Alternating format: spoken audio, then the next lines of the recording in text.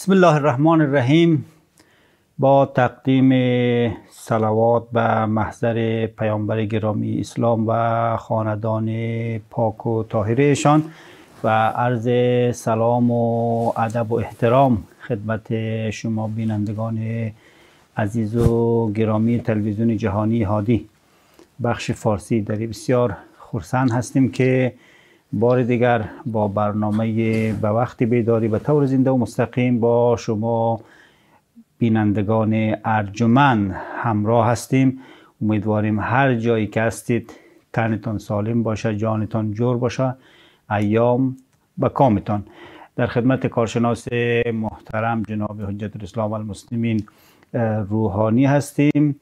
با موضوع حکمت های قرآنی نصایح پدرانه لقمان حکیم. سلام علیکم جناب استاد بزرگوار. بسیار بسیار خوش آمدین به برنامه خودتان.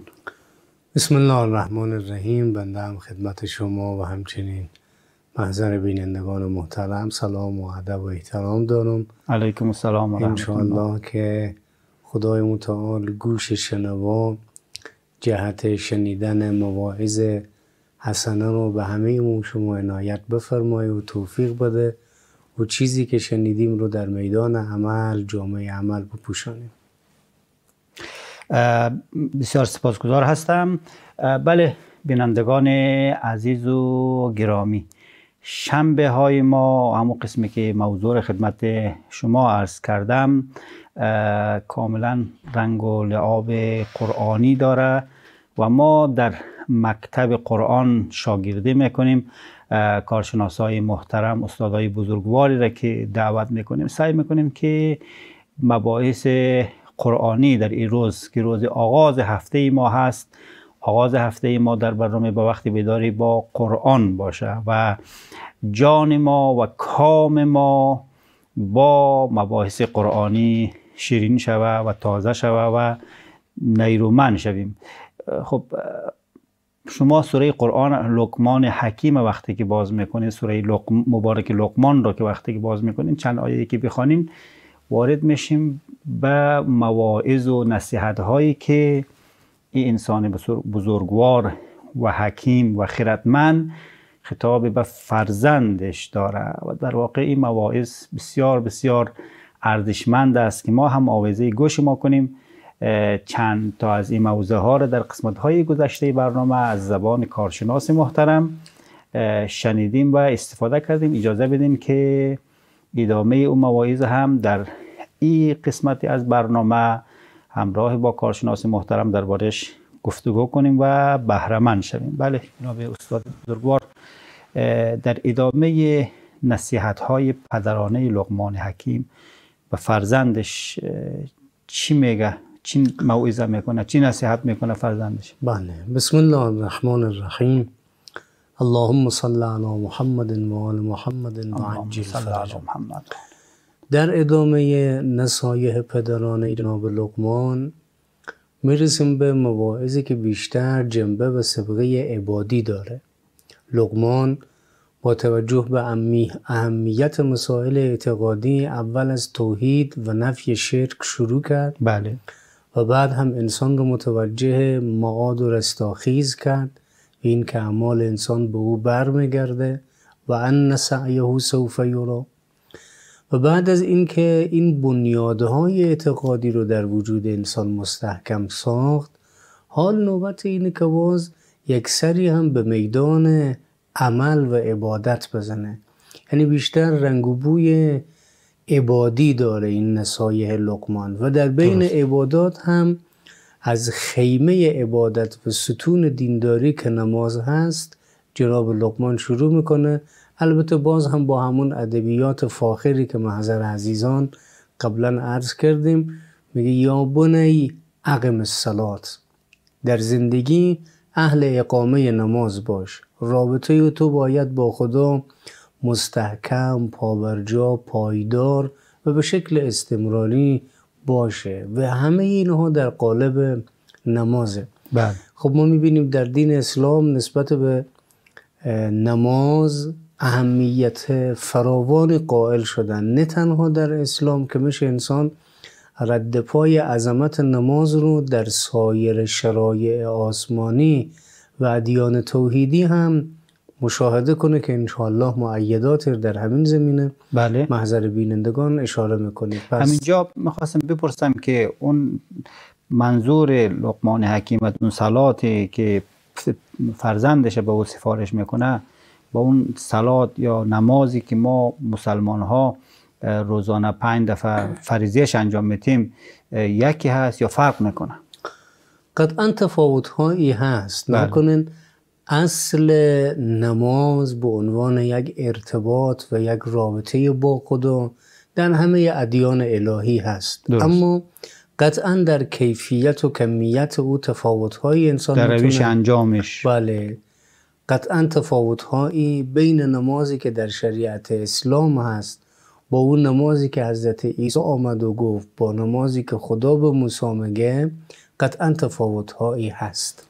پس در جوهره و محتوای اصلی که پرستش خداوند باشه اینها همش یک, یک حقیقت واحد داره بله. ولی در جزئیاتش و روش انجامش و که روز چند وقت باشه روزانه باشه بله. باشه در ادیان مختلف اینجا ادیان ابراهی فرق هست بله. بله. ما انسان ها مهمترین چیزی که در زندگی ما هست اینه که ما در خلع زندگی نمی‌کنیم بله. در عالم ارتباطات هستیم باید حتما با دیگران با غیر انسان در ارتباط باشه. حالا این دیگران گاه خالق انسان است و گاه انسانهای هم نوع ما هستند. بله. در آموزه های وحیانی که در اسلام و سایر شرای آسمانی دیده میشه هی داره همین رابطه و همین ارتباط تثبیت میشه و در عین حال تقویت هم میشه. اگه انسان رشته ارتباط خود رو بخواهد با خدا محکم کنه قطعا بهترین قالب و بهترین روش همین است که انسان اهل نماز باشد. و اگر انسان بخواهد رابطه خوشی با خلق خدا داشته باشه باز چیزی که در دین به او توصیه می شود انفاق زکات. همین که شما تقریبا به یک شکل کلید واژه اونم به شکل بسیار فراوان در قرآن می‌بینیم که هر زمان ما رو دعوت به نماز می‌کنن بله. باز انسان رو متوجه زکات هم می‌کنن. الذین یقیمون الصلاة و یعطون الزکات. جناب حافظ گفت با یک دست جام می و یک دست زلف یار رقصی چنین کرانه میدان مارزوست باید هر دوتا کنار هم باشه. بله. اگر ما ارتباط خوش با خدا رو داشته باشیم هی اهل نماز باشیم هی ارتباط رو در قالب خود نماز با خدا پیوند بدیم استحکام بدیم اما از توجه نسبت به خلق خدا غافل باشیم به درد نمی‌خوره. نکته بسیار مهم اشاره فرموده جناب استاد گرامی. اینکه ما یک بودی و تک بودی نباشیم افراد و تفرید نکنیم. ولی در جامعه وقتی که می‌بینیم در عمل یک ایده از این طرف بام میفته یک ایده از اون لبی بام میفته یک ایده که نگاه می‌کنیم نمازخان هستن مسجد میرن اهل نماز جماعت هستن در صف اول هستن. میگم تاکید می‌کنم بعضی ها یک ایده نه خدای نخواسته کدام اهانتی باشه اکثر کسایی که اهلی کار هستن مسجدی های ما اونایی که اهل بله. نماز جماعت هستن الحمدلله انسان های بسیار با اخلاق و اجتماعی هستن. ولی خب متاسفانه پیدا میشه که می‌بینیم یک بودی فقط همین همی کاره خوب بلدن. ولی وقتی که یک کمی باشون میشینیم حسن معاشرت بلد نیستن اصلا آداب ممکنه بلد نباشه یا در بحث انفاق و اینها ممکنه خیلی کمیتشون بلنگه. ولی از او طرفش هم هست. چرا به وضعیت دچار میشیم. و حالا اینکه شما فرمودید وقتی همون جایی که قرآن در ما آیه که میگه اقیم الصلات بعدش میگه و تو زکات بله. نکنه گاه دینداری ما متاسفانه دینداری متعادلی نیه. و ما در پرورش دینی بله. کسب آموزه های دینی متاسفانه خیلی به سلیقه های خود خود میدان دادیم. یعنی تربیت دینی ما متأثر از سلیقه ها و امیال ما بوده. یک چیزی که انسان دوست داشته و بعد به همون توجه بیشتری کرده و از دیگر چیزهایی که اونها هم سهمی در پرورش ما دارن اونها هم بله. جزء ارکان عبادی ما هستن متاسفانه ما از اونها غافل شدیم. یعنی گزینشی رفتار بله. کردیم. در بحث دینداری تعادل بسیار بسیار مهمه. امام رضا علیه السلام میفرمایند خدای متعال همون زمانی که ما رو دعوت به تقوا کرده به همون حجم و اندازه هم از ما صله رحم خواسته. اینا رو کنار هم قرار داده. فرموده و الله الذی تساءلون به والارحام. اینا رو قرین هم ادل بله. هم قرار داده. یعنی نمیشه ما خود رو آدم پاک و متقی و پاکیزه تصور بکنم. بله. اما اهل رابطه با برادر خوب با خواهر خوب با زیل قربای خوب با کسانی که با ما به یک پشت می‌رسن نباشم. اگر تقوا رو انسان بخواهد داشته باشد حتما در کناری باید به فامیل خم انسان رسیدگی کنه. یا امام رضا علیه السلام میفرمایند در قرآن ما می‌بینیم هر زمانی خدا ما رو دعوت به پرستش کرده غالبا گفته و بالوالدین احسان. احسان. و قضا ربک الا تعبدوا الا ایا و بالوالدین احسان. احسان. تقریبا چهار بار با همین تعابیر ما در قرآن داریم. و در عین حال سومین مسئله رو امام رضا علیه السلام می‌فهمن قرآن رو که شما ببینی بله. هر زمانی که خدا از ما نماز رو مطالبه کرده در کنار گفته زکات شما کجاست؟ چرا بیتفاوت نسبت به محرومان هستی؟ درست. نماز و زکات نماز نماد ارتباط با خدا زکات هم یک انسان دست خیر خور بر سر خلق خدا عبادت داشته. مالی. بله هم عبادتی مثل نماز و هم عبادتی مثل زکات و هم گره خوردن. تا اینکه ما تکبودی نباشیم بله. مؤمنی واقعی و دینداری دینداری متعادل داشته باشیم و باشه. متوازن. بله. نکات بسیار ارزشمند داره. گفتین انشاءالله حتما در ادامه بحث باز هم به این سفارش حضرت لقمان از زبان انشاءالله. شما بیشتر میشنویم. دعوت می‌کنم به دیدن میان برنامه.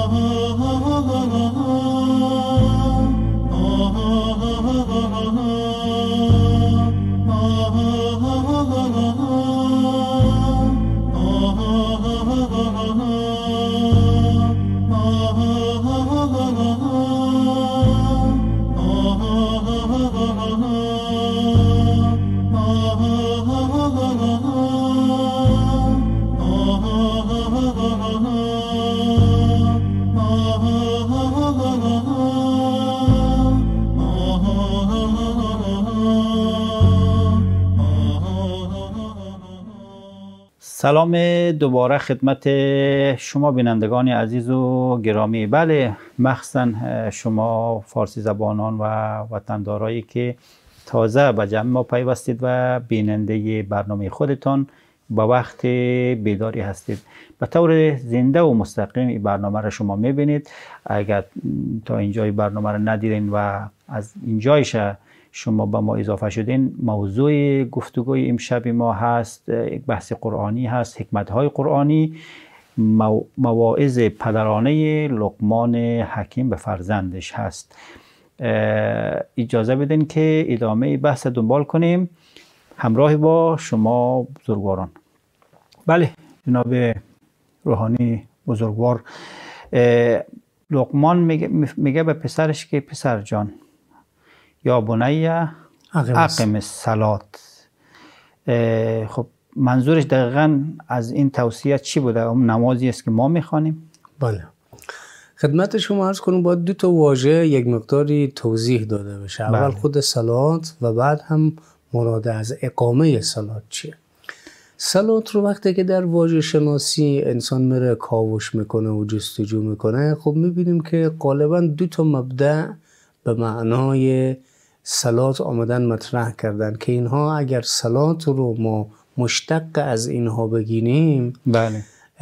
این معنا رو هم می‌تونه داشته باشه. اولین معنایی رو میگن سلات به معنای تلازم و پیوستگی است.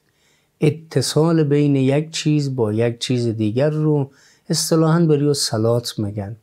وقتی که مسابقه اسب دوانی میشه و اسبی که از همه زودتر خود رو به خط پایان رسونده در عرب بریو میگن مجلی که در مباحث فقهی هم بله ما مباحث در همین خصوص داریم شرط بله. بندی در خصوص اسب و اینا به اسب اول میگن مجلی و اسب دومی که گردنی و تقریبا به انتهای و اسب اولی که سبقت از همه رو بوده بله چسبیده بری از او میگن مسلی. به خاطر التزام و پیوستگی پیوسته به اون اسب اول نفر هست. اول هست خب حالا چرا نماز رو ما میگیم سلات به خاطر که نماز پیوسته با انسان عجینه. شما نها کنین اگر سری آدم بیاد به مناسک عبادی بزنه مثلا مثل روزه روزه واجبه دیگه یک از بله. مهمترین واجباته. از فروعات اما- دینی ماست. بله. همین فرع دینی که جایگاه بسیار رفیعی هم داره آیات متعددی در قرآن در خصوص روزه هست خدای متعال روزه رو از خیلی از یک عده برداشته. پیرمرد پیرزن اصلا بله. طاقت روزه داری نداره. یا مریض مسافره میگه فمن کان منکم مریضا او علی سفرین فعدت من ایام اخر. حال درست رمضان است. درست کتب علیکم الصیام. باید روزه بگیری. اما چون تو مریضی یا ای بسا مسافر هستی بگذار بیماری که رفت صحتمندی برگشت به شهر و وطن خود بازگشتی او زمان بیا روزه بگیر. بله. یا حج با ای که امیر المؤمنین میگن خدا حج رو اسباب قوام دین قرار داد. در قرآن می‌خونیم جعل الله الكعبة البیت الحرام قیاما للناس.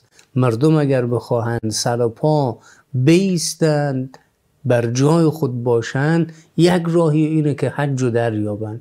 اما همین حج رو خدا به همه واجب نکرده. بله. میگه ولله علی الناس حج البیت من من استطاع الیه سبیلا. سبیلا اگر انسان استطاعت دیش توان جسمی دیش قدرت مالی دیش بعد میگم بسم الله مثال کعبه میسر نمی شود سعدی مگر که راه بیابان پرخطر گیرند اما اگر کسی توان اقتصادی نداره قدرت مالی نداره بری و خواهند گفت اغنیا کعبه روند و فقرا سوی تو آیند. جان به قربان تو مولا که تو حج فقرا فقرای نه؟ بله. با اینکه واجب بود اما خدا از یک عده رو برداشت. درست. زکات همچنین است خمس به همین شکل است. حتی امر به معروف و نهی از منکر با اینکه واجبن گاه از انسان برداشته شده. بله.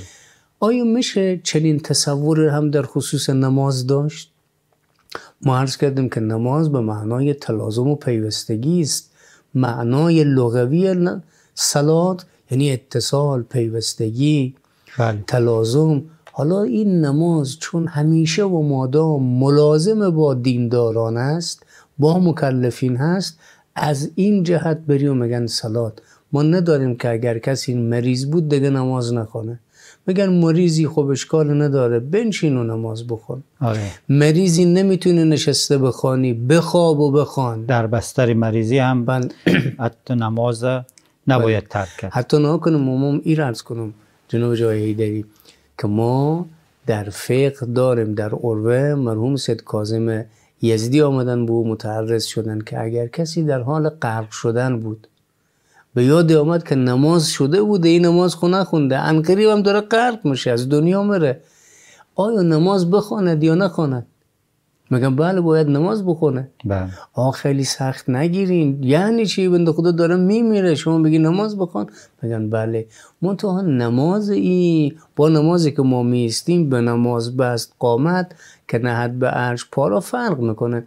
میگه صلات الغریب التکبیر تکبیر. فقط یک الله اکبر یک الله اکبر بگه نیت نمازی همون. مثلا نماز ظهر یا نماز عصر یا بله. نمازی که وظیفه همین تکبیر نمازی اونه نکنین از او ابتدای زمان تکلیف نماز با مکلف هست تا زمانی که انسان از دنیا مره لذا به اعتبار این تلازم و پیوستگی و اتصالی که نماز با مسلی و مکلف داره برای نماز ما در شریعت اسلام سلات میگیم. معنای دیگه چیست؟ معنای دوم میگم به معنای دعا باشه.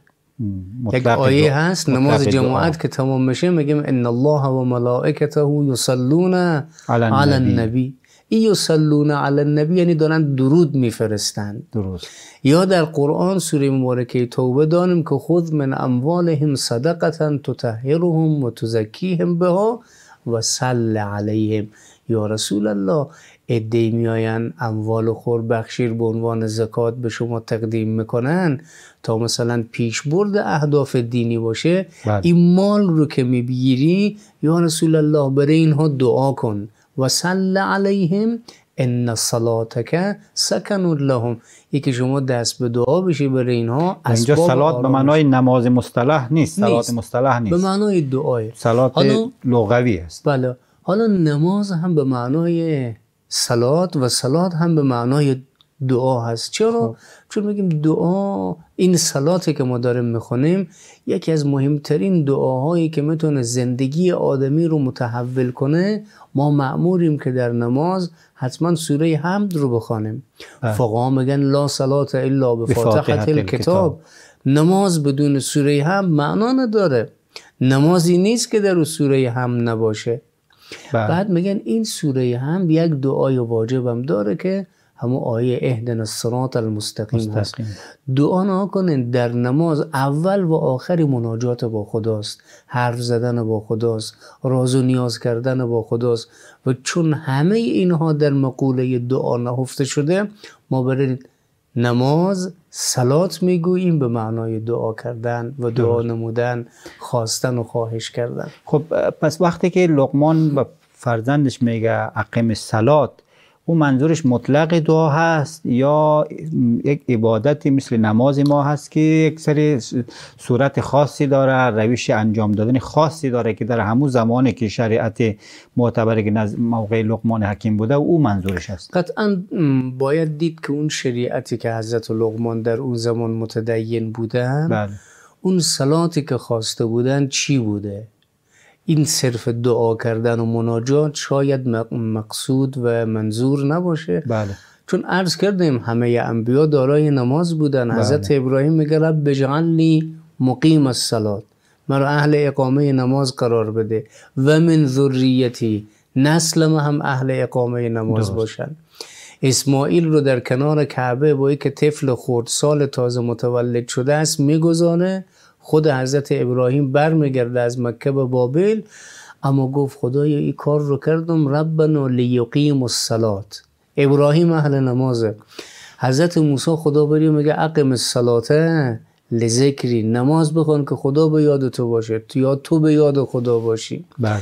حضرت عیسی در گهواره ادعای نبوت کرد پیغمبری کرد بعد گفت خدای متعال و اوسانی به صلاته و زکاته اسماعیل یکی از ویژگی های اونه که وکان یعمر اهله به صلات نه؟ بله همه انبیا دیشتن لقمان حکیم هم یک شریعتی داشته دیگه بله. و در همون آین و شریعت همین نقطه اتصال و ارتباط با خدا برجسته شده به نام نماز وقتی که میگه یا بنی اقم الصلات یعنی همین منسک همین عبادت همین عملی که از شریعت هست رو باید حتما شرط و شروط و قالب. خاص و طرز انجام بله. خاصی. این واژه اولی بود که عرض کردیم. درست. این فهم وقت داریم؟ در این بخش فرصت ما تمام هست. یک میان برنامه را همراه با بینندگان می‌بینیم. ادامه بحث بله در خدمت خدمت جناب عالی هستیم. می‌بینیم میان برنامه را.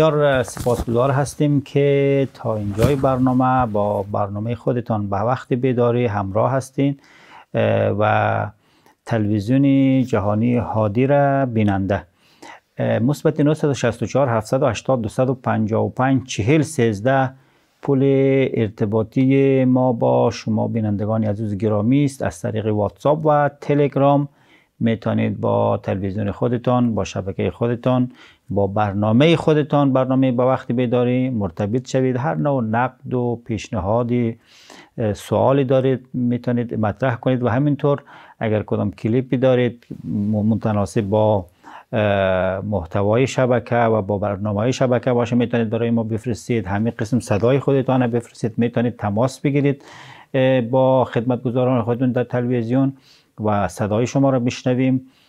بسیار بسیار باعث افتخار و خورسندی ما هست. تا پایان برنامه با ما باشین. خب جناب استاد روحانی بزرگوار در ادبیات کلا قرآن ادبیات خاصی داره مخصوصا در بعضی از واژگانش بار معنایی خاصی داره. درباره سلات هم در اینجا قرآن تفاوتی که داره همیشه میگه اقیم السلات یا اقیم السلات وقتی. سفارش به نماز که می‌کنه تعبیر برپا داشتن هست. یا اقامه کردن به عربی اقیم و اقامه به عربی هست اقامه کردن یا برپا داشتن در فارسی هست. کدام معنای خاصی در اینجا نکته خاصی هست در این تعبیر و فرق می‌کنه با صرف خواندن نماز؟ قطعا تفاوت داره. نکنه ما در واژه اقامه که عین او رو مثلا در اقامه عدل اقامت القسط در قرآن داریم. بله. در اقامه سلات هم مسئله همچنین است. خب اگر سه تا چیز کنار هم قرار بگیره او زمان مفهوم اقامه شکل می‌گیره. اولا در مفهوم اقامه رعایت آداب مد نظره. یعنی ما که ما نماز رو اقامه کنیم باید آداب نماز رو بفهمیم. اگر یک بازاری بخواهد بازاری باشه که آداب تجارت در او رواج داره. مردم می‌فهمند کی بخرن کی بفروشن کی پول رو برگردونن چه میزان بفروشن. بله. این آداب تجارت رو یاد دیشته باشن اینجا میشه اقامت و سوق. یعنی بازار بازار پاورجایی است بازار استواری است بازار اهل مثلا تبادل صحیح اقتصادی بازار سالمی هست. بله. حالا در اقامه نماز هم اولین مسئله همینه که انسان آدابدان باشه. آداب نماز رو بفهمه. آخه گاه انسان نماز می‌خونه اما خیلی آداب نماز رو نمی‌فهمه. وقتی که انسان بفهمه در مقابل کی ایستاده و این ایستادنی و به خاطر چی است او زمان دیگه خود انسان مشتاق میشه که این نماز رو زودتر اقامه کنه این نماز رو زودتر بخونه. دیگه کاهر نسبت به نماز نیست سهلنگار نسبت به نماز نیست. بله. دیگه انسان برای ادا کردن دو رکعت نماز صبح در هوای سرد زمستان دیگه خیلی بری و سخت نیست که از جای گرم خب بلند چه برای دو رکعت نماز بکنه کی؟ وقتی که آداب نماز رو انسان مد نظر بگیره. مسئله دوم اینه که اقامه زمانیه که استمرار هم باشه. اقامه نماز او زمانی است که حتما در این خواندن نماز انسان حالت استمرار رو داشته باشه. یعنی پنج وقت نماز انسان دائمی باشه. همون که گفت خوشا آنان که دائم در نمازن. یعنی همیشه و مادام انسان اهل نماز باشه. آقا گاه دیده میشه. ادهی در برخی از مناسبت های دینی و مذهبی اهل نماز هستند. این مناسبت که تمام شد دیگه اونا هم با نماز فاصله می‌گیرن فصلی هستن. بله. نمازخانیشان بله. فصلی هست. که مثلا محرم باشه یا باشه. ایام اربعین باشه. بله. موقت یا باشه با درد نمی‌خوره. بله. این خواندن نمازه نه اقامه نماز. چون چون در مفهوم اقامه حتما اون استمراری و استمراری دیده میشه. و نکته سوم در بحث اقامه حفظ آثاره قطعا نماز یک آثاری داره دیگه نه؟ صلات تنها عن الفحشاء و المنکر قربان و کل تقیین.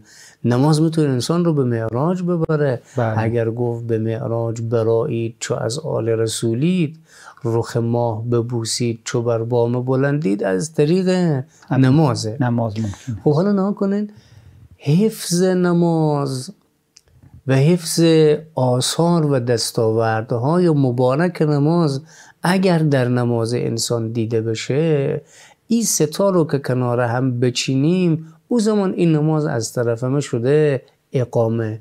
لذا قرآن همیشه تأکید بر همین مسئله داره. میگه او کسانی که حاکمیت در زمین رو خدا به اونها مسپاره سکان حاکمیت حکومت در زمین به دست اونهاست. از مهمترین ویژگی ها اینه اینه که الذین امکناهم فی الارض اقام الصلات نماز رو اقامه می‌کنن. یعنی آداب نمازدانی رو می‌دانن. بله. استمرار بر بحث نماز دارن. نماز موقت و فصلی نیست و در کنار اون آثار نماز رو هم برای خود خود حفظ می‌کنن. او دستاوردهای مبارکی که نماز می‌تونه در زندگی انسان داشته باشه اینها رو برای خود خود دائمی می‌کنن. اگر این سه ایجاد بشه او زمان میشه الذین یقیمون الصلاه اقامه نماز.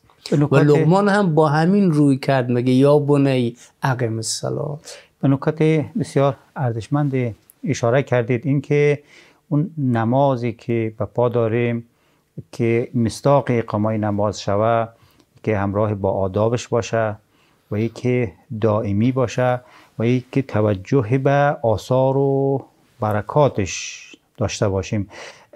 اگر ما به این سه تا نکته دقت کنیم یک مقدار اگر باز به وضع خودمون برگردیم چی به شخص خودمون چی به خانواده خودمون چی به جامعه خودمون که الحمدلله افغانستان از نظر ظاهری مسجدها پر هست. صبح هم حتی همه مسجدها از آن گفته میشه. یعنی نه تنها با وزانی که از رادیو یا تلویزیون پخش میشه اکتفا نمیشه که هر مسجد هر بله. مولای امامی وقتی که در مسجد خودش رسید ممکنه در سر وقت از آن باشه 10 دقیقه دیرتر باشه 20 دقیقه دیرتر باشه هر دفعه هر وقت که رسید اون نما از آن خود میگه از بلنگو و از لاسپیکر می پخش میشه. ملت به ظاهر نمازخانه هستیم. آیا جناب آقای روحانی بزرگوار ولی وضعمان چرا خوب نیست؟ حتی وضع دینداریمان. صرف نمازخان ظاهری هستیم اما ای که نمازی که تنها عن الفحشای و المنکر باشه نمازی که قربان و کل تقیین باشه آثار و برکاتی که در دین برای نماز هست بله. در زندگی ما چندان نمایان نیست. بله. علتش چیست؟ امیر المؤمنین سلام الله علیه در یکی از خطبه های کوتاه نهج البلاغه به همین فرمایش شما اشاره می‌کنند. اونجا میفرمایند که تعاهد و امر الصلات. و حافظو علیها. در نماز خود متعهدانه برخورد کنید. و بعد امیر المؤمنین از یک آیه قرآن میان وام می‌گیرن که تعاهدو امر الصلات و حافظو علیها. قرآن میگه حافظو علی الصلوات و الصلات الوسطا یعنی محافظت کنید. محافظت دو سویه نه؟ هم از طرف من هم از طرف بله. شما باز باشه دیگه یعنی طرفی نیست بله بله. است جانبیه. نماز می‌تونه انسان رو محافظت کنه. همین که شما فرمودید ان الصلاه تنها عن الفحشاء و المنکر نماز انسان رو از بدی باز میداره این خاصیت نمازه. یکی از آسان نماز همین دوری از فحشاست همین دوری از منکراته. ولی چرا گاه عده اهل نماز هم هستن؟ اما متاسفانه اهل منکرات هم هستن. بله. بخاطر اینکه اینا محافظت بر نماز نمی‌کنن. میزان تأثیرگیری ما و تأثیر پذیری ما از نماز به همون میزانی است که ما به نماز روی کنیم و توجه کنیم. اگر من از نماز محافظت کنم. او زمان است که نماز هم از من می‌کنه؟ محافظت می‌کنه. بله. محافظت هم از نماز یعنی چی؟ یعنی همین آثاری که نماز داره اینا رو بتونم حفظ کنم مراقبت کنم برای خود خود نگه دارم. درست. و اگر ما می‌بینیم گاه نماز می‌خوانیم اما در کنار نماز متاسفانه یک کارهای خلافی هم از ما سر می‌زنه به خاطر اینکه تأثیر پذیری از نماز کمه در زندگی ما. درست. خب همینجا نکته همینجاست.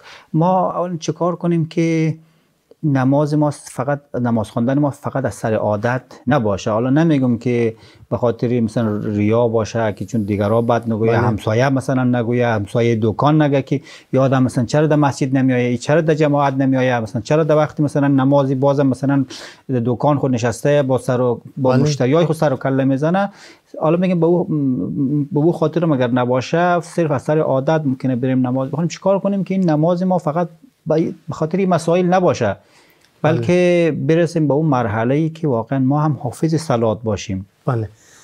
مسئله اول اینه که انسان معرفت خور نسبت به نماز ارتقا بده. یعنی یک نوع بینش صحیحی و ارتقا یافته ای ما بتونم نسبت به نماز داشته باشم. بله. که نماز یک عمل عبادی که انسان هر چی زودتر او رو بخونه و که بعد راحت بشه و هر کار خواسته باشه بکنه نیست نه. من نیاز به این نماز دارم. بدانم که هر سر موی مرا با تو هزاران سوداست اگر نگاه ما به نماز به این باشه که همین نماز می‌تواند مشکلات مر برطرف کنه و همین نماز می‌تونه رابطه ایمر با خدا پیوند بده و تربیت بله. کنه و همین نماز ابزاری است برای تشکر کردن از خدا.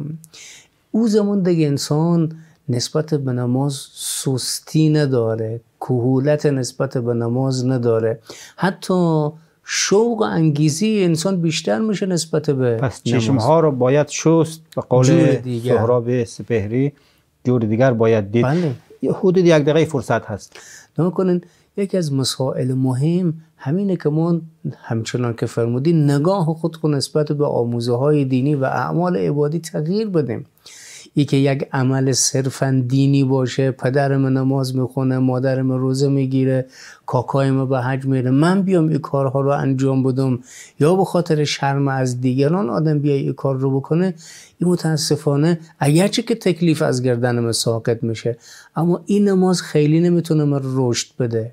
این نماز نمی‌تونه قربان باشه و نزدیک کننده ای ما به خدا باشه. نمی‌تونه مستاقی باشه که در نمازم خم روی تو در یاد آمد. نکنه قرآن دو تا گروه نمازگزار رو دو تا برخورد متفاوت می‌کنه. بله. یک مختصر اگر بگین همین نکته پایانی شما باشه اینجا یک عده نماز می‌خونن خدا اونا رو توبیخ می‌کنه که فویل للمصلین. وای بر این نمازگزار.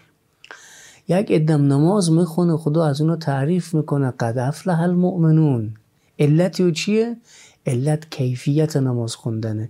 یک عده نماز می‌خونن تا خوشایند مردم باشه. الذین هم عن صلاتهم ساهون الذین هم یراؤون. ریا می‌کنه. با این نماز خوب دیگران نشون بده. اول صف مثل تا مردم او رو بله. ببینن. قنوت خور طول میده گردن خور کج می‌کنه تا مردم خوشی بیایه اما یک دفعه دیگه هست نه نماز رو که می‌خونه از سر شوق و شیدایی و علم و معرفت نسبت به خداست. لذا این نماز می‌تونه انسان رو به خدا برسانه. سعدی گفت کلید در دوزخ است نماز که در چشم مردم گذاری دراز. به خداوند پناه می‌بریم از چنین وضعیتی دوچار شدن به چنین وضعیتی. انشالله که خداوند به ما معرفت کامل را عنایت کنه که بتانیم از کسایی باشیم که خداوند به ما لوح تقدیر میته افتخار می‌کنه و برای بندگی ما از شما هم سپاسگزار هستیم که با حوصله مندی این برنامه را با ما همراهی کردید. همراه با کارشناس محترم شب خوب و خوش و آرامی را برایتان آرزو می‌کنم انشالله که نمازهایتان عبادتهایتان بندگیهایتان به درگاه خداوند خالصانه و مقبول باشه. شبتان خوش. Uh,